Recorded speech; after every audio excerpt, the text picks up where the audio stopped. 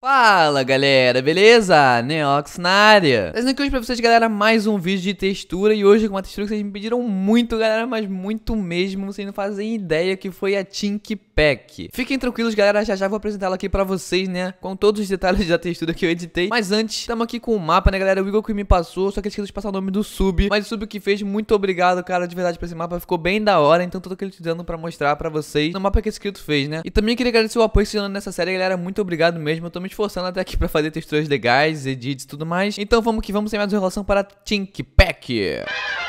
Bom, galera, já tô aqui com ela, né? Então, só lembrando, não esqueça de mandar mapas e texturas no e-mail nigglepex.gmail.com A gente vai estar dando uma conferida lá, façam vídeos e do mapa e da textura, tá? Não mandem downloads que não tem como baixar todos, são, é, são muitas downloads, assim, pra gente mandando E é impossível ver cada um Então façam vídeos e mandem lá no e-mail que a gente vai dar uma olhada nos seus mapas e nas suas texturas, né, galera? Mas enfim, galera, começando aqui a mostrar as partículas da Tink Pack, né, galera? A partícula de velocidade, que usa bastante no HG, como tiveram ver aí A partícula de força, a partícula de resistência ao fogo e a partícula partícula de regeneração. Partícula de HG aí bem simples, na verdade parece até um Fateful, tá bem bonito, eu curti bastante, né? E acho que vocês também devem ter curtido. Vamos lá, mais uma olhadinha aqui em algumas delas.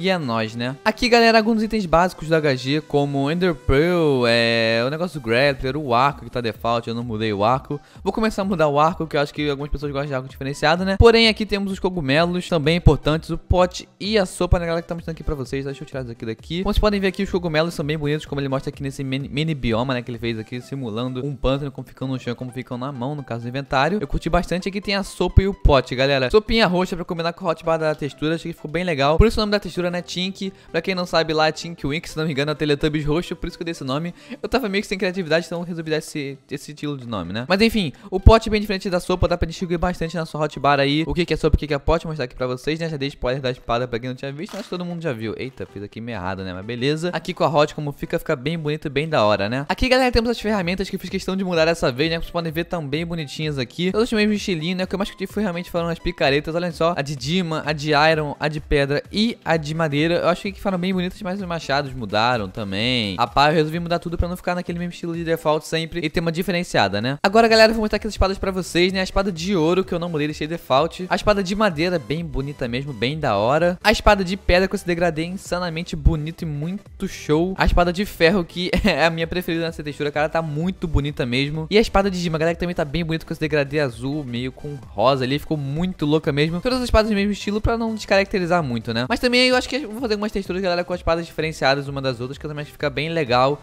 E eu vou experimentar e vocês comentem se vocês curtem ou não. Agora, galera, tá mostrando aqui pra vocês as armaduras de ferro, no como ficam no corpo. Fica com esse degradê insano, parece um ferro bem louco mesmo, você vai bem gladiar com essa armadura de Iron, bem bonita. E a armadura de Dima, galera, no mesmo estilo, com essa suavização aí, eu não sei como é que diz, chama isso e tal, mas achei que ficou bem bonita mesmo, né? As duas no mesmo estilo pra dar aquela caracterização bolada, pra ficar bem insano mesmo no seu HG, no seu PVP. Bom, galera, agora vou mostrar aqui pra vocês o céu, né, que é uma coisa que o pessoal tá curtindo bastante nas texturas que eu tô fazendo. Esse céu aqui de manhã fica bem bonito mesmo, com essas nuvens espalhadas, como sempre. Eu desligo, deixo do Mine desligada, porque eu prefiro muito mais essas texturas, são bem mais bonitas, né? Só que o que tá bem da hora mesmo, galera, é o céu de noite. Olhem só, vocês já devem ter visto um spoiler aí nos vídeos, ou até agora pouco que eu mostrei. Eita, distei aqui errado, pera, vamos lá.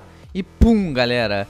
Olha esse céu com essas galáxias e tudo mais, sério. Fica insano de bonito pra quem tem um PC, cara, tem que jogar assim, que na moral, é muito lindo jogar um HG com esse céu de fundo, né? E aqui agora pra vocês, galera, dos minérios, que eu não, também não fiz questão, muita questão de alterar. Vou mudar nas próximas, botar uns minérios bem destacados, diferentes. Essa aqui eu não destaquei, deixei default porque achei que ficava mais combinando com a textura e tudo mais, né? Acabou que eu preferi não mudar, porque podem ver as bases de blocos, acabou que meio que combinou, sei lá, com os minérios default, né? Aproveitando que eu tô aqui, vou mostrar a partícula de lava pra vocês, bem baixa no PVP, não vai te atrapalhar em nada no seu 1v1 lá, você cai na lava for usado isqueiro em você, não vai ser atrapalhado. E aqui a partícula de água também diferente, bem bonitinha e bem da hora. Por último, galera, mas não menos importante, as partículas. Vou mostrar aqui pra vocês a partícula de Sharpness e a partícula Critical, né? Vamos lá.